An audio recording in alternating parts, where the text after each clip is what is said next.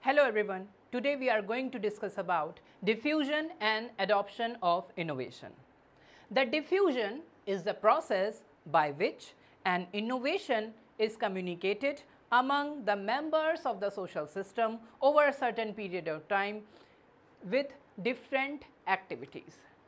Adoption is the mental phase. It is the phase in which the learner moves from first hearing of an innovation to its final adoption. Now you would be wondering what is an innovation? So in agricultural scenario, the innovation is anything that is newness.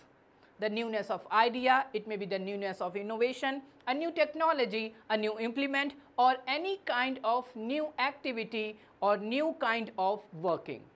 So Eh, we usually do so many researches in our research stations and the work of extension agent is to disseminate these agricultural technologies to its ultimate users that are the villagers. So diffusion is the activity through which we usually create a situation in which we tell rural people that how this new improved technology is beneficial to them there are so many activities that include communication skills,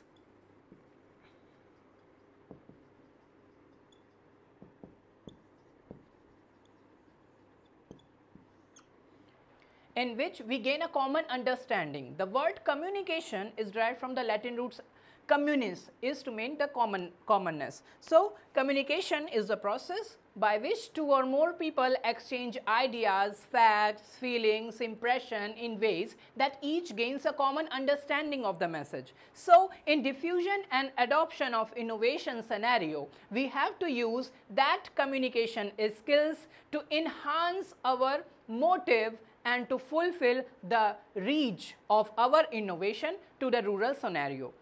Now you would be wondering how communication skill is so many important in diffusion of an innovation and its adoption. So as we all know that our society is categorized in certain types of adopters that we call in extension language we call it like adopters category. So there are five adopter categories there are five kind of adopters which we call the adopters category. The first one are the innovators, the second ones are the early adopter, the third ones are early majority, next are the late majority and at last are the laggards. So you would be wondering what are the innovators. So innovators are those innovative farmers which usually adopt the new technologies at first.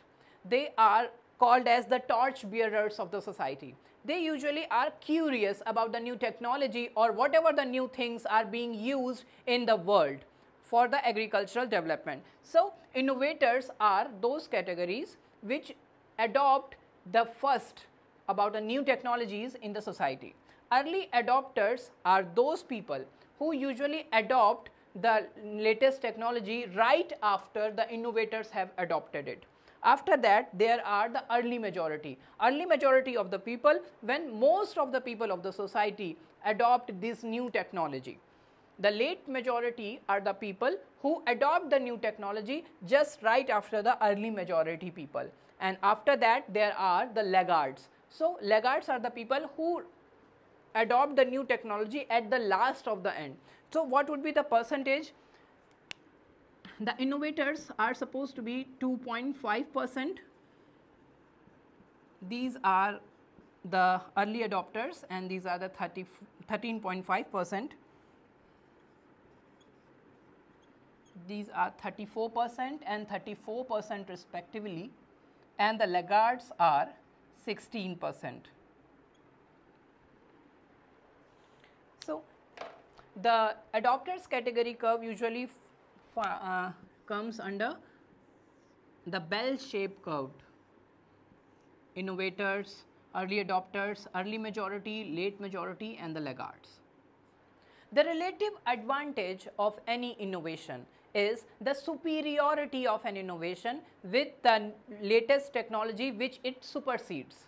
So, an innovation is supposed to be more adopted if it is relatively advantageous to the innovation it has superseded. in adopters category, the major adopters are those person who usually find that the relative advantage of an innovation is better than the previous they were using. The next one is the next one is the compatibility. The new innovation should be compatible to the society in which it is going to be run. The adopters usually attract to we, uh, the adopters the adopters usually adopt those technology which are compatible to their society and which are feasible to be used in the society. So, here in adopters category these are the characteristics which are responsible for a new technology to be adopted soon as compared to the previous technology available. Thank you.